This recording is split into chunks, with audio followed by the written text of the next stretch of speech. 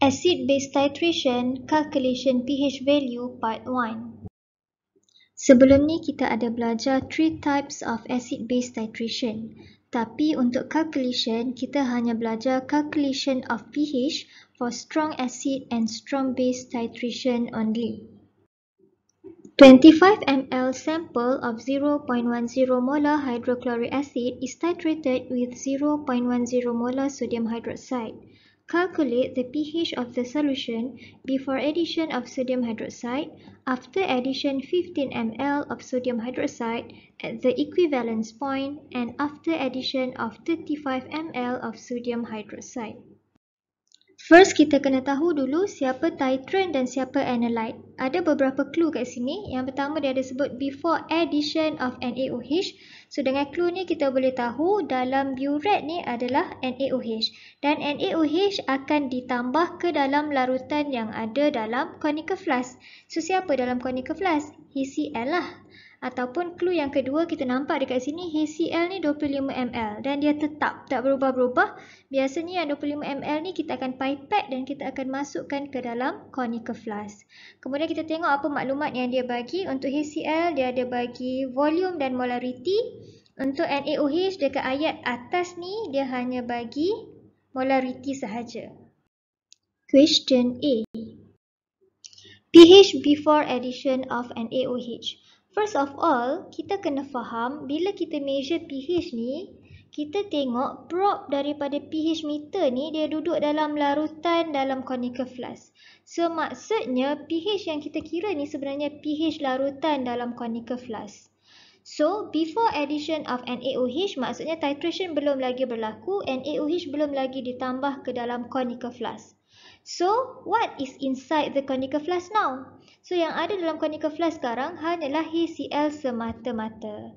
So jadi bila disuruh kira pH before addition of NaOH, maksudnya kita kena calculate pH of HCl. HCl adalah strong acid. So kita kena recall balik macam mana pengiraan pH untuk strong acid. Strong acid dan strong base, pengiraan pH-nya tak perlu buat ice table. Apa yang kita perlu buat adalah kita buat saja dissociation equation, pastikan balance dan ada phase. Strong acid dan juga strong base, mereka adalah completely dissociates. So, kalau kita ada HCl sebanyak 0.10 molar, H plus dan juga Cl minus yang terhasil pun sebanyak 0.10 molar. So, concentration H plus kita adalah 0.10 molar. Kita masukkan sahaja dalam formula pH is equal to negative log concentration H plus. Substitute the value. So, kita dapat pH dia 1. Question B. pH after addition 15 ml of sodium hydroxide. So ingat kita kira ni pH dalam conical flask. So apa yang ada dalam conical flask sekarang? Memandangkan titration dah bermula dan kita dah isi sebanyak 15 ml NaOH ke dalam conical flask. So dalam conical flask sekarang HCl pun ada, NaOH pun dah ada. So untuk mengira pH setelah NaOH dimasukkan ke dalam conical flask, kita perlulah membuat ice table.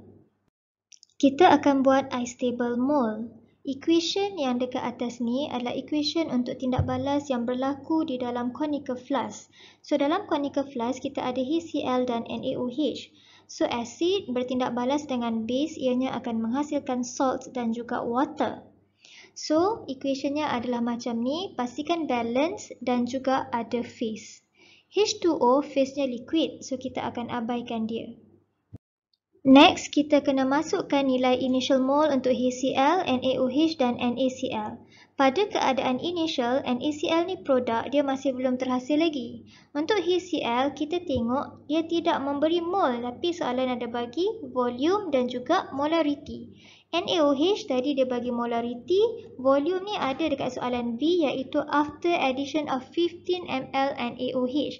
So maksudnya 15 ml NaOH telah dimasukkan ke dalam conical flask. So dalam burette kita dah berkurang sebanyak 15 ml. So daripada molarity dan volume yang diberi ni kita kena convert kepada mole. So formula yang kita akan pakai adalah number of mole is equal to MV. So first nak cari number of mole HCl, so kita substitute je maklumat yang kita dah ada. So number of mole dia 2.5 times 10 power of negative 3. Untuk NaOH pun guna formula yang sama. Substitute the value. So number of mole untuk NaOH adalah 1.5 times 10 power of negative 3.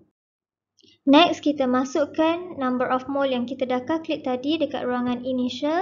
Ini mol HCl, ini mol NaOH, and masih bernilai kosong.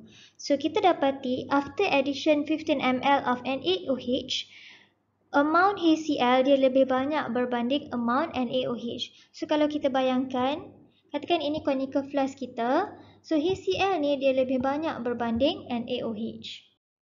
For change, kita akan refer to the smallest initial mole. Tengok dekat ruangan initial mole, abaikanlah yang NaCl kosong ni jangan tengok. Tengok antara acid dan base saja, tengok siapa yang paling kecil nilainya. So NaOH lah paling kecil 1.5 darab 10 kuasa negatif 3. So, change untuk HCl, memandangkan HCl ni adalah reactant. So, HCl akan berkurang sebanyak 1.5 times 10 power of negative 3. And AOH pun akan berkurang sebanyak 1.5 times 10 power of negative 3. And ACl dia adalah produk, dia akan bertambah sebanyak 1.5 times 10 power of negative 3. Analoginya macam ni. Contoh kalau kita tambah satu NaOH ke dalam HCl, NaOH ni dia akan bertindak balas dengan HCl untuk menghasilkan NaCl. So apakah perubahan ataupun change yang berlaku? Since kita tambah satu NaOH, satulah juga NaCl yang akan terhasil. Satulah juga HCl yang akan berkurang. Daripada tiga tinggal dua dan satulah juga NaOH yang akan berkurang. Tak ada dah NaOH kat sini. Itulah yang berlaku dekat ruangan change ni. For equilibrium, kita akan total upkan initial dan juga change. HCl, equilibrium is 1 times 10 power of negative 3 and AOH is 0 and ACl is 1.5 times 10 power of negative 3 membawa maksud selepas tindak balas antara NaOH dengan HCl dekat dalam conical flask, HCl masih berbaki sebanyak 1 darab 10 kuasa negatif 3, NaOH sekarang tak ada baki apa-apa, NaCl sekarang dah mula terbentuk sebanyak 1.5 darab 10 kuasa negatif 3 mol. Next, barulah kita calculate nilai pH. Macam mana nak calculate nilai pH? Tengok dekat ruangan equilibrium antara acid dan juga base, siapa yang berbaki? Kalau kita tengok base dah tak ada baki dah, kosong. Hanya acid yang berbaki. So, pH of the solution is determined by amount of HCl left. So daripada HCl, kita nak kira pH, kita akan guna pH is equal to negative log concentration H+. So yang kita ada sekarang adalah mole. So kita kena convert kepada concentration. Menggunakan formula molarity is equal to number of mole divide with total volume. Number of mole HCl dah ada. Volume total kita kena recall balik apakah yang ada dalam conical flask kita sekarang.